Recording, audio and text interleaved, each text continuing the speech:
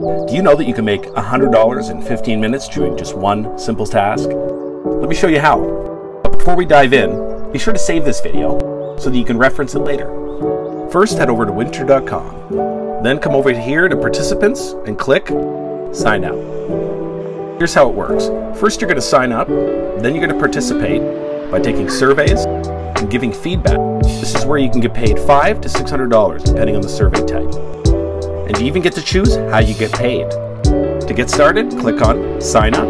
Now don't forget to follow along for the best side hustles. And if you want to learn about the side hustle that I personally do, that makes me more than 15K per week, head to the link in my bio and check out my free beginner's guide to help get you started today.